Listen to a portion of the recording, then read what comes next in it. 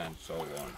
And how do you have to so leaders.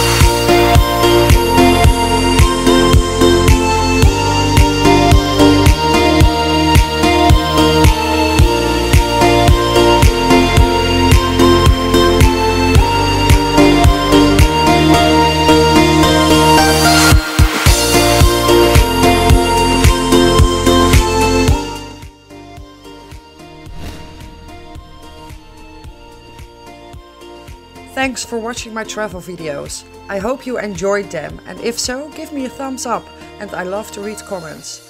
If you're looking for more travel inspiration, check out the other videos at my channel.